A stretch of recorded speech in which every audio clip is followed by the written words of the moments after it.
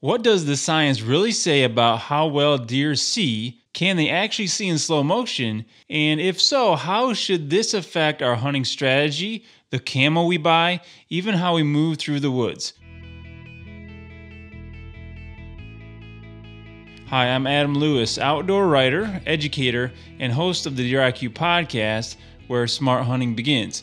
And recently I talked to Dr. Karl Miller, former professor at the University of Georgia Deer Lab, about the nuances of deer vision, and this topic came up. How deer see in slow motion? So, how does this really work? Let's dig into the science. Deer see much different than humans in many ways, and I'll just list a few here for a foundation. They see a horizon of about 300 degrees in equal focus, so they don't have to move their heads to see most everything. They see light about 18 times better than we do, especially at dusk, dawn, and at night when they are most active.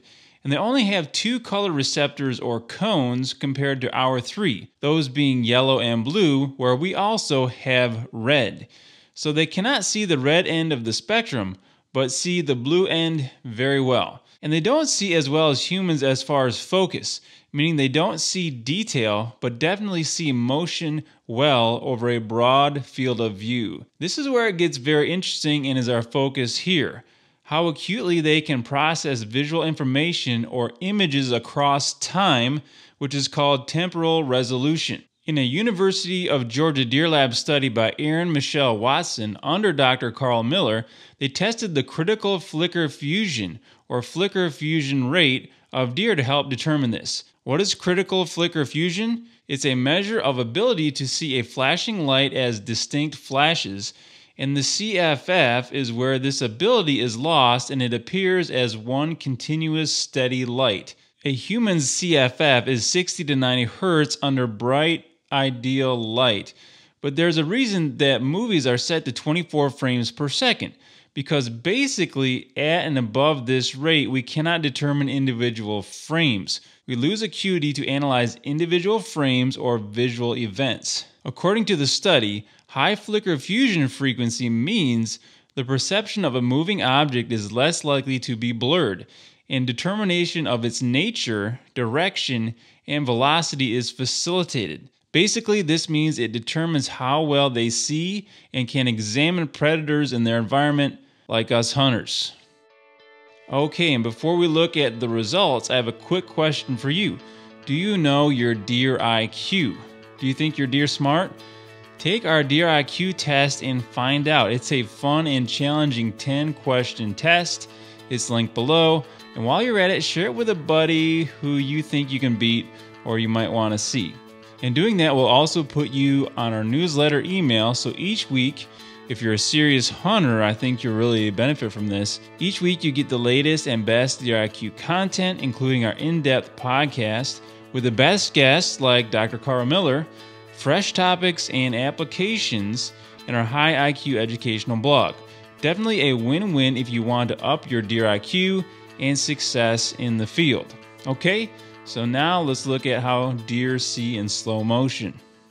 So the study found that the CFF of deer is around 100 hertz on average, or about four times that of a human, especially pronounced in low light conditions. This means that whitetail deer can process images with about four times the acuity we can and effectively analyze these a frame at a time if we're thinking of movies here, like watching something in 4x slow motion. This is what it might look like.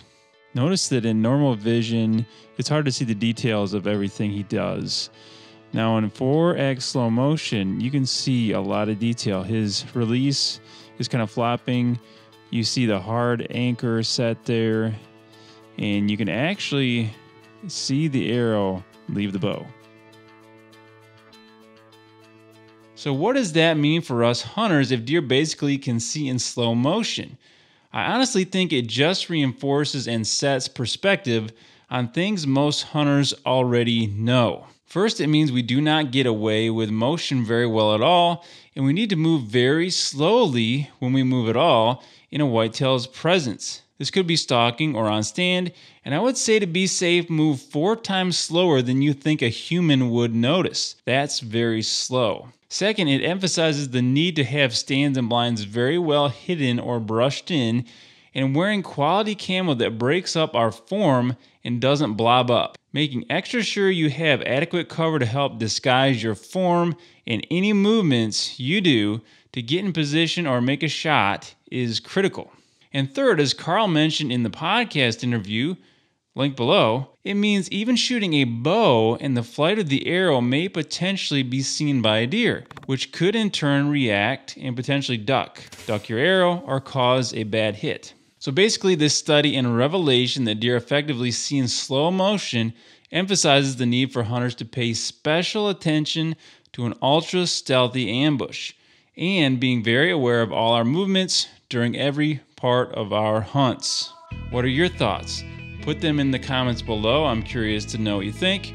And if you like this episode, make sure to like and hit subscribe and maybe share it with a friend you think might benefit.